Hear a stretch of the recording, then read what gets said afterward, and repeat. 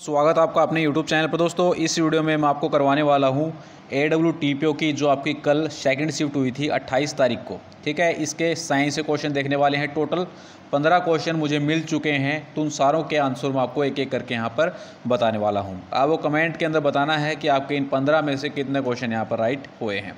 चलिए स्टार्ट करते हैं। फ़र्स्ट क्वेश्चन आपका था कि इलेक्ट्रॉनिक कंडक्टेंस जो होता है आपका, वो किस पर डिपेंड नहीं करता है। ठीक है तो ये आपका किस पर डिपेंड नहीं करेगा? प्रेशर पर। प्रेशर आपका ऑप्शन के अंदर था तो प्रेशर आपका यहाँ पर बिल्कुल राइट जवाब यहाँ पर रहेगा। ठीक है? नेक्स्ट क्वेश्चन आपका स्पीड कन्वर्जन का था। किलोमीटर प्रति घंटा के अंदर आपको स्पीड कन्वर्ट करनी थी। तो उस क्वेश्चन का आंसर होगा आपका अठारह। अठारह आपने किया है तो बिल्कुल सही जवाब यहाँ पर रहेगा। नेक्स्ट है, नोर एंथीड्रोन जो होती है, उसके अंदर किसका आपका मिक्सचर होता है? तो इसके अंदर होता है आपका सिंथेटिक। प्रोजेस्ट्रोन और एस्ट्रोजन ठीक है? इन दोनों से मिलकर आपका बनता है नॉन एंथीड्रोन जो कि आपकी एंटी फर्टिलिटी ड्रग रहेगी। नेक्स्ट बायोथाइनोल जो आपकी सोप के अंदर ऐड की जाती है। क्या प्रॉपर्टीज़ होती हैं इसके अंदर? तो होती है आपकी एंटीसेप्टिक नेक्स्ट स्टेटमेंट आपको बतानी थी सोप के रिगार्डिंग ठीक है? तो उसके अंदर आपका करेक्ट यहाँ पर बतानी थी कौन सी स्टेटमेंट आपकी राइट रहेगी। तो उसके अंदर ऑप्शन के अंदर था ग्लिसरोल को एज ए ड्राइंग एजेंट के रूप में ऐड किया जाता है किसके अंदर? सोप के अंदर। तो ये आपकी राइट स्टेटमेंट यहाँ पर रहेगी। नेक्स्ट रेजिस्टिविटी का आपसे डायमेंशन पूछा गया था तो इसका होता है M L three T minus three और ए माइनस टू आपने किया है तो बिल्कुल सही जवाब यहाँ पर रहने वाला है। एक क्वेश्चन आपको पूछा, पूछ रखा था कि रेनेट्रीडिन जब आपकी आई थी तो उससे पहले जो आपकी पॉपुलर ड्रग थी, वो कौन सी थी यहाँ पर? एंटा एसिड के अंदर। तो ये थी आपकी सीमेटिडीन अगर आपने सीमेटिडीन किया है तो बिल्कुल सही जवाब रहेगा। नेक्स्ट रदर फोर्ड का स्कैटरिंग एक्सपेरिमेंट पूछ रखा था। चार स्टेटमेंट आपको दे रखी थी कि चारों के चारों में से तीन स्टेटमेंट आपकी ये थी, ठीक है?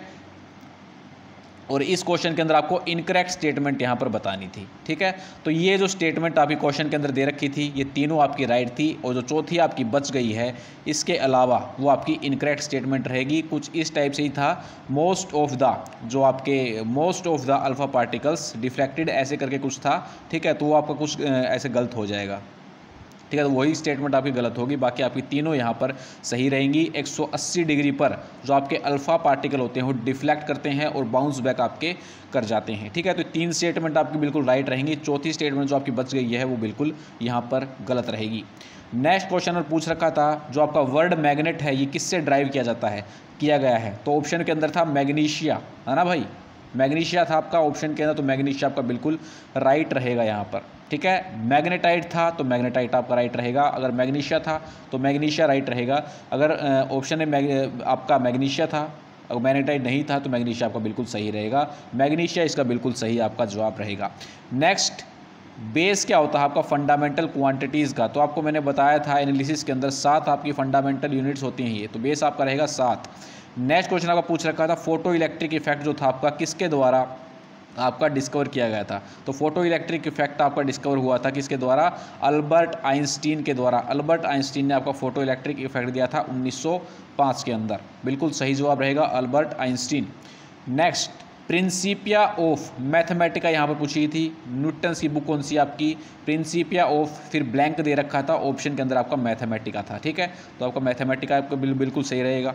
नेक्स्ट नेक्स्ट एक क्वेश्चन पूछ रखा था स्टैंडर्ड इलेक्ट्रोड पोटेंशियल से। जब आपका हाफ़ सेल यूनिटी हो जाता है तो उस इलेक्ट्रोड पोटेंशियल को क्या बोलते हैं? तो उसको बोल देते बोलते हैं हम स्टैंडर्ड इलेक्ट्रोड पोटेंशियल ये मैंने आपको इलेक्ट्रोकेमिस्ट्री में भी करवाया था। नेक्स्ट कार्नोट साइकिल आपकी कौन से लॉ ऑफ़ थर्मोडाइनमिक्स के ऊपर बेस है?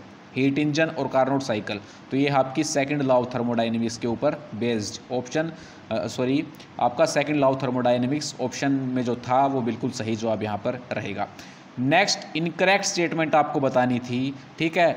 दो स्टेटमेंट आपकी एज बिल्कुल सेम एज इट इज़ दे रखी थी, लेकिन उसमें एक में दे रखा था कि करंट जो है वो वेक्टर लॉ ऑफ़ एडिशन को फॉलो नहीं करता है। एक में बोल रखा था वेक्टर लॉ को फॉलो करता है।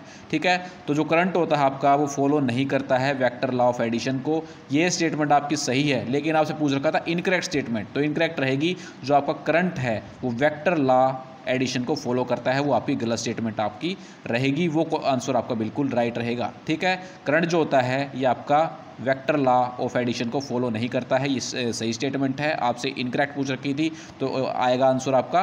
करंट जो है, वो फॉलो करता है वेक्टर लॉ ऑफ़ एडिशन को, वो आंसर आपका राइट यहाँ पर रहेगा। तो पंद्रह क्वेश्चन मुझे मिल चुके हैं यहाँ पर। अगर आपके फ़र्स्ट और थर्ड शिफ्ट के अंदर एग्ज़ाम थे तो आप अगर आंसर जानना चाहते हैं तो आप टेलीग्राम पर मैसेज कर सकते हैं। टेलीग्राम नंबर आप सभी को हमारा पता है। तो मिलते हैं दोस्तों नेक्स्ट वीडियो के अंदर। जय हिंद, जय भारत।